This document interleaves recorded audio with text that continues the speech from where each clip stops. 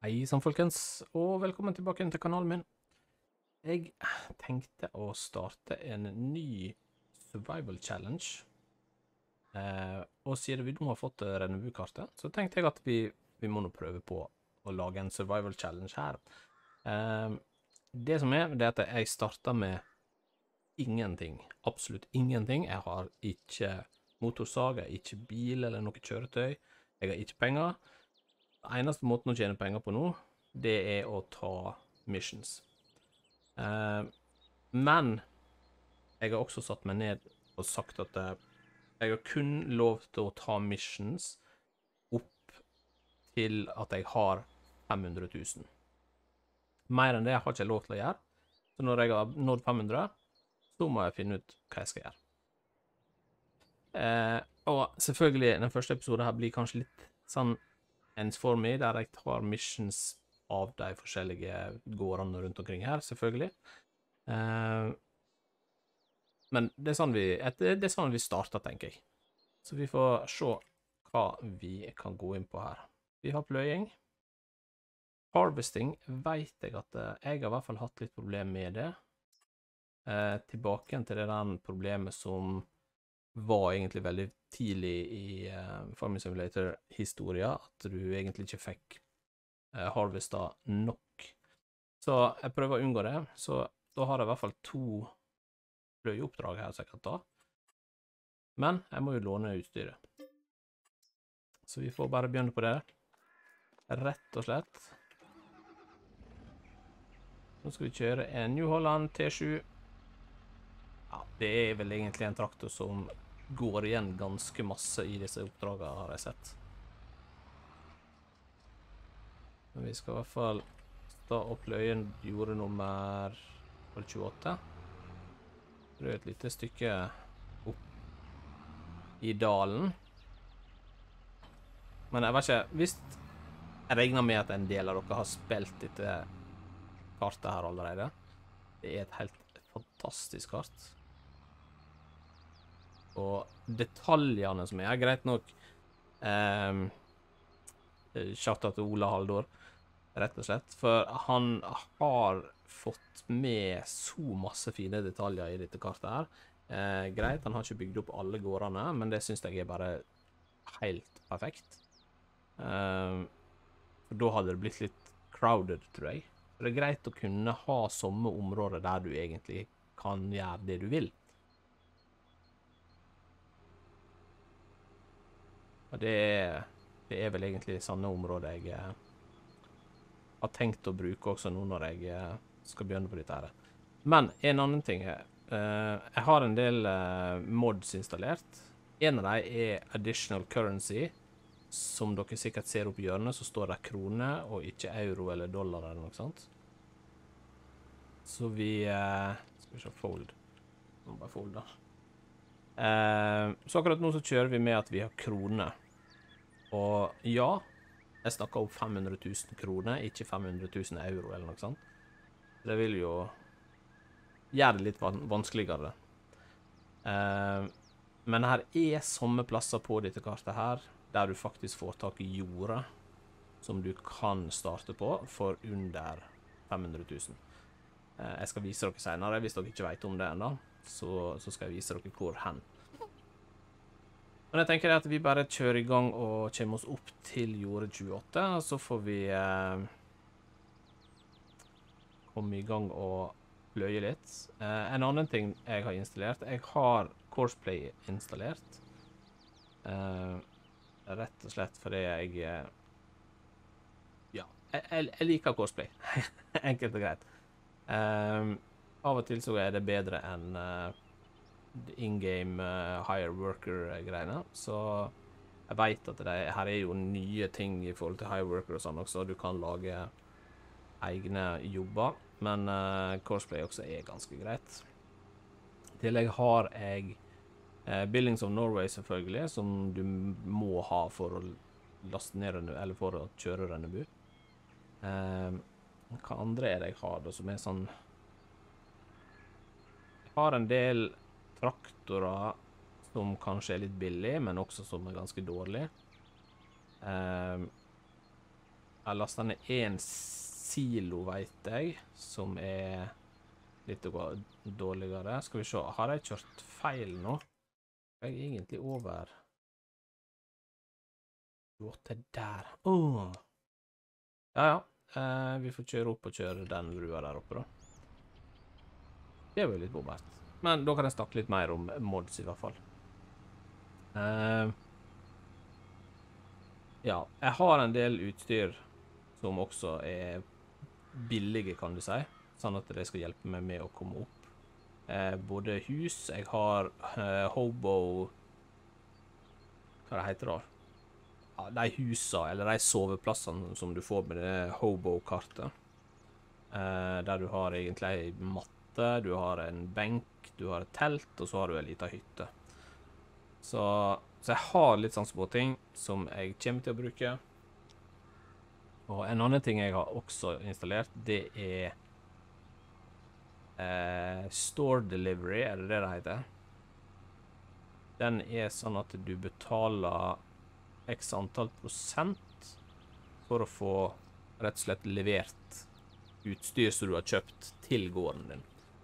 Eh, noe jeg egentlig syns det er Altså, jeg, jeg syns det er en veldig grei mod, med tanke på at du Det er ikke alltid Altså eh, Hvis du for eksempel, sånn som jeg kommer fra ei bygd på Stadlandet, og hvis du hadde kjøpt en traktor der, eh, innen Stryn eksempel, så er ganske langt inn i, inn i fjorden, så jeg tror ikke det er vanlig at du, du kjører inn dit og henter traktoren og kjører den helt ut igjen til Stad. Uh, selv om jeg har ikke vært med på og gjort noe sånt, selvfølgelig. Men at de i hvert fall leverer det til en nærtliggende plass til gården din, det tror jeg er ganske vanlig. Så, så derfor syns jeg at det er egentlig innafor å ha en eh, mod som leverer utstyret. Skal vi se, hvor er denne brua nå? Den er ned med kirka her, den. Der var jokeren, forresten. Vi skal kjøre ned her, vi nå.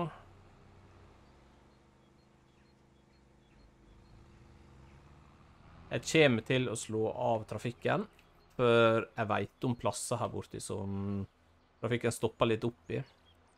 Det er sånn konstant kork, og det gidder ikke å ha. I tillegg så kommer jeg til å slå av lime, stein, eh, periodisk pløying tror jeg kommer til å slå av. Jeg er litt usikker ennå. Jeg eh, er faktisk en liten fan av å pløye jorda ganske ofte, egentlig. Hva er disse der kryssene der? har jeg ikke sett før.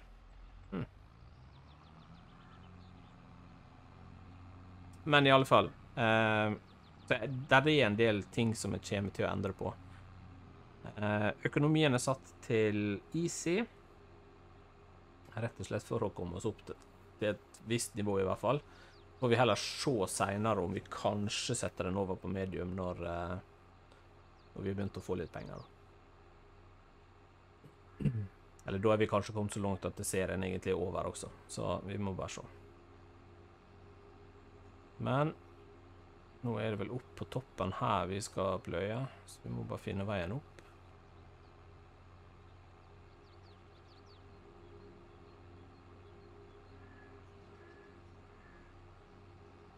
Borti her har ikke vært så masse, faktisk.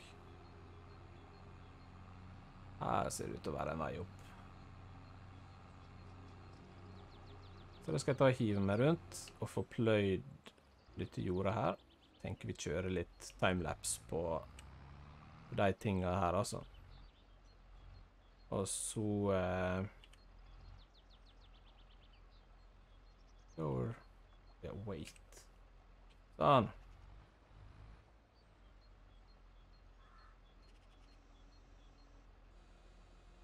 Turn around. Gutta begynner.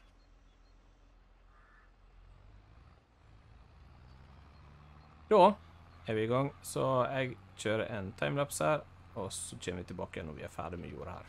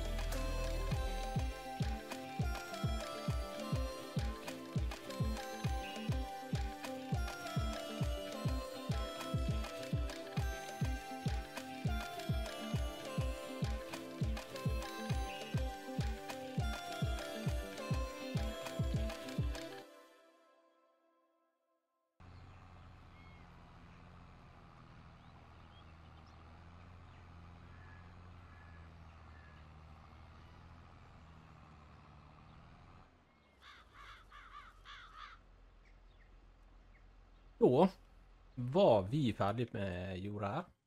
Bra. Saving content.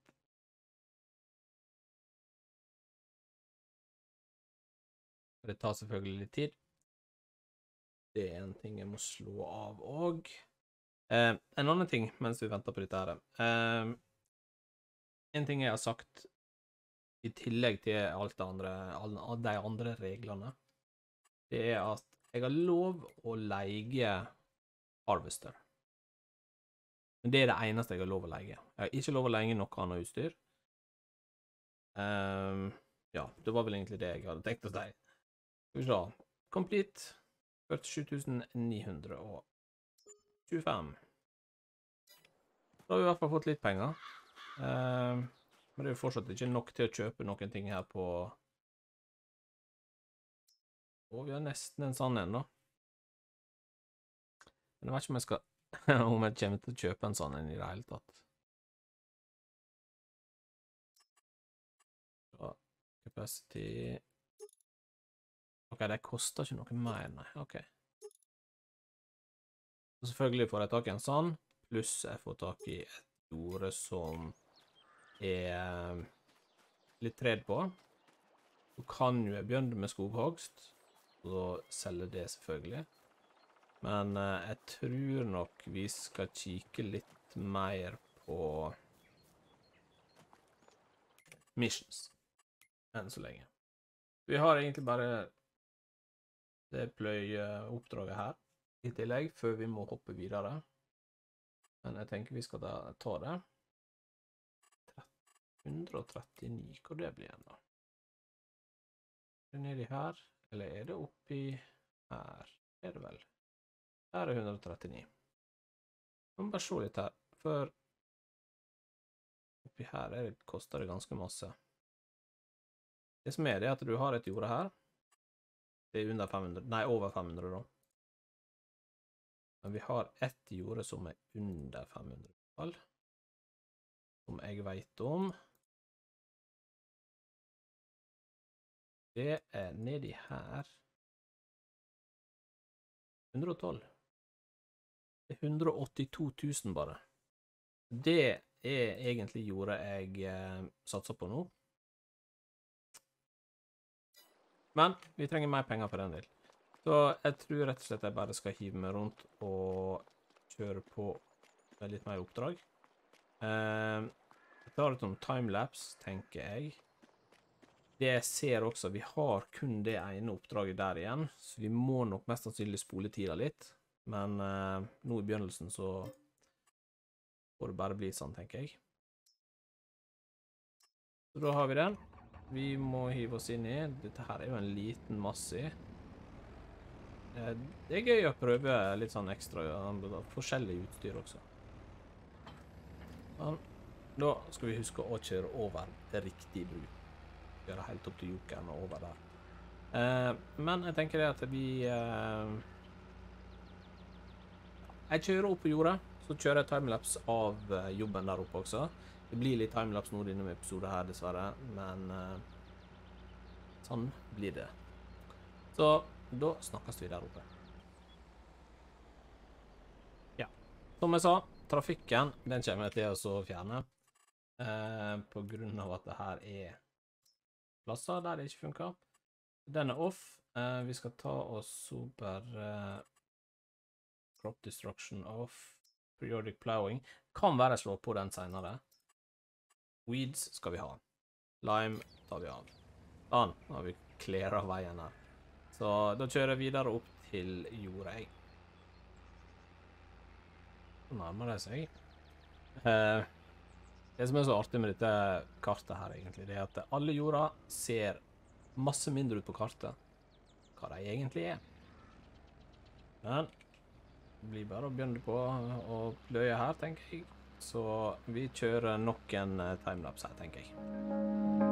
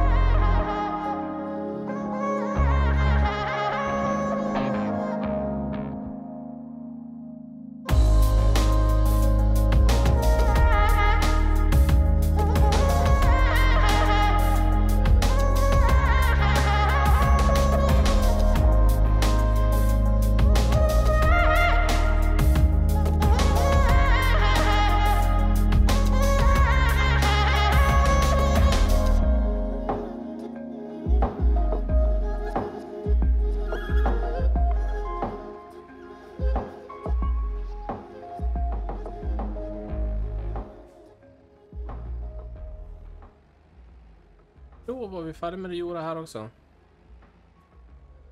Da skal vi ta og hoppe inn her, og så blir det saving content, selvfølgelig.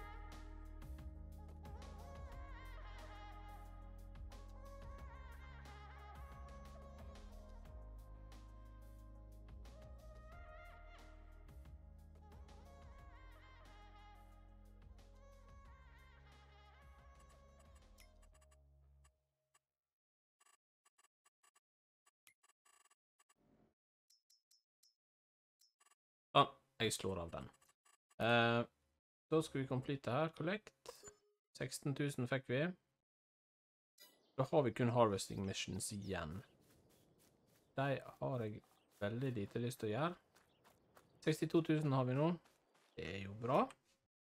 Men er det ikke kommet noe nytt her? Og det er egentlig jordet jeg har lyst til å ha, først og fremst. Så det jeg tenker vi skal ta og gjøre da, det er å spole tida litt fram, tenker jeg. Men mens vi gjør det, så skal vi springe ned her til eh, Kan være til Chemi Mission. Cultivating. Det kan vi ta. Går ned tida til fem igjen, da. Cultivating er jo greit. 58 Skal vi se. Hva jord blir det, da? Å, det er det svære der, ja. Ja, men uh, sånn er det. Jeg tenker det at eh, jeg skal uh,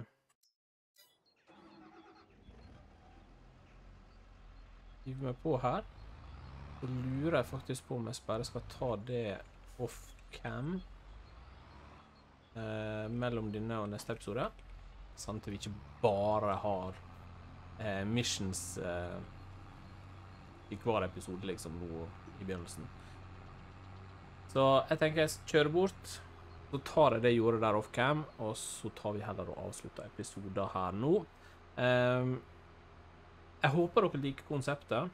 Kom gjerne med forslag på hva som jeg bør tenke på, hvis dere har mods som kanskje kunne hjulpet meg her.